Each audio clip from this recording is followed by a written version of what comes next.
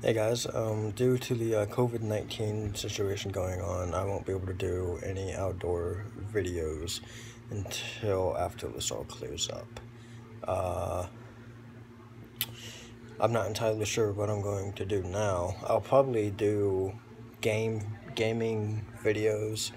Um, my Xbox is going through some hard times playing CDs, so I'll, I'll only be able to play Left 4 Dead, Left 4 Dead 2, and Minecraft until I figure out what happened. But, um, yeah, just posting a little COVID up, COVID-19 update for you guys. Uh, letting you know what's going on and everything. So, hopefully this closes up fast, but I don't know. Hopefully you guys stay safe, stay indoors, and be safe out there. Bye, guys.